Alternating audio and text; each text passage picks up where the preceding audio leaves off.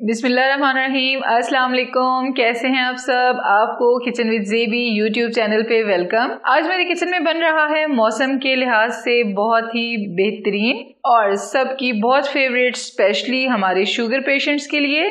जी तो मैं बना रही हूँ आज मकई की रोटी। सब घरों में मकई की रोटी बहुत शौक से खाई जाती है तो मैंने सोचा आज मैं आप सबके साथ एक बहुत ही बेहतरीन और मुफीद रेसिपी शेयर करूँ। तो मैं लेकर आई हूँ बहुत ही इजी मेथड के साथ आप सबके लिए। तो बनाना शुरू करते हैं। हमें मकई की रोटी बनाने के लिए जो इंग्रेडिएंट्स चाहिए वो हैं। तीन कप हमने लिया है मकई का आटा। हंसपे ज़रूरत हमने दूध लिया है। हाफ़ टी स्पून हमने ली है अजवाइन। वन टी स्पून हमने ली है कलवंजी। और हंसपे ज़रूरत हमने लिया है नमक। दो अंडे। और हसबी ज़रूरत हमने घी ले लिया है। घी आप देसी इस्तेमाल कर सकते हैं, मक्खन इस्तेमाल कर सकते हैं, या बनस्पति घी भी आप इस्तेमाल कर सकते हैं। लेकिन मैं यहाँ देसी घी का यूज़ करूँगी। तो चलें बनाना शुरू करते हैं मकई की रोटी। बैटर बनाना शुरू करते हैं। पहले हम डालेंगे अजवाइन, कलवंजी, नमक। इसे हम अच्छी तरह से मिक्स कर लेंगे।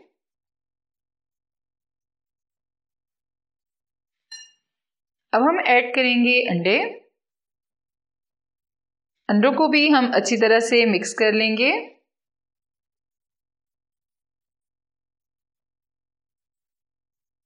अब हम हंसपे ज़रूरत दूध ऐड करेंगे। बैटर को इतने अच्छे से तैयार करें कि लम्स बिल्कुल भी ना बने।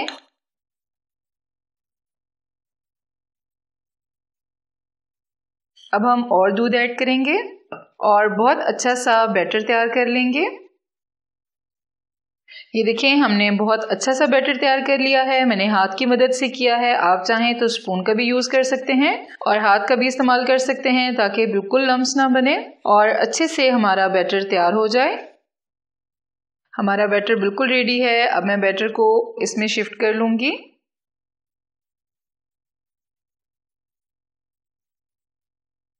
जी, पैन मैंने ले लिया है, फ्राइंग पैन लिया है, आप चाहें तो तवे पे भी बना सकते हैं। फ्लेम मैंने ऑन कर लिया है, सबसे पहले मैं पैन को ग्रीस करूँगी। फ्लेम हमने मीडियम रखना है।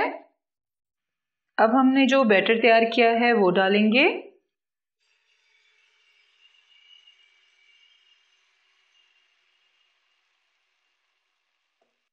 और अब हम इसको फैला लेंगे। जितनी हमें रोटी चाहिए, हम उतना इसको स्पैचुले की मदद से बिल्कुल सेट कर लेंगे। आप सबके साथ मैं कलवंजी के कुछ बेनिफिट्स शेयर करना चाहती हूँ। कलवंजी के बेनिफिट्स के बारे में आपने ये भी सुना होगा कि कलवंजी में मौत के अलावा हर मर्ज का इलाज मौजूद है। कलवंजी का इस्तेमाल दिल के अमराज वालों के लिए बहुत बेहतरीन है। जिन लोगों को सीने की जकड़न का मसला है, उनके लिए भी इसका यूज़ बहुत अच्छा है। और रोटी को हमने बिल्कुल गोल करना है, ये बहुत इजी मेथड है।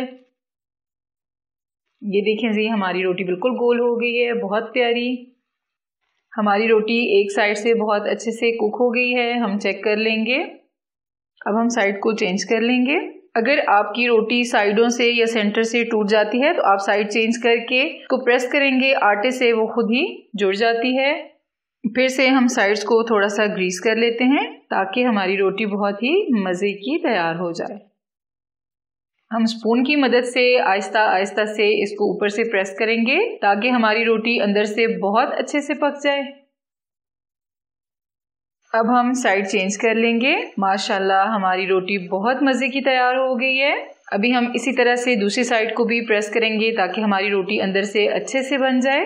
फ्लेम आपने मीडियम रखना है। जी तो हमारी रोटी बिल्कुल रेडी है। अभी हम इसको प्लेट में निकाल लेंगे। फ्लेम हम बिल्कुल स्लो कर देंगे। इसी तरह से हम अपनी रोटियाँ तैयार कर लेंगे।